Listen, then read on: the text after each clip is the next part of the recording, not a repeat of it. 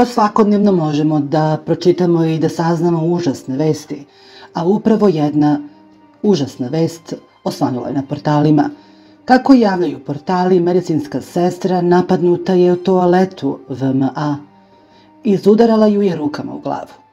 Nju je prema prvim informacijama portali prenose ženski pacijent koji ima 18 godina izudarala rukama u glavu.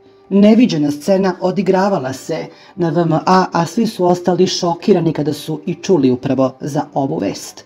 Napad se dogodio na odeljenju toksikologije u ranim jutarnjim satima. Kako portali javljaju, tinejdžerka je pretukla medicinsku sestru na odeljenju toksikologije. Neviđena drama odigravala se na VMA, a kako se i saznaje prema prvim informacijama, upravo devojka je izudarala i rukama u glavu medicinsku sestru.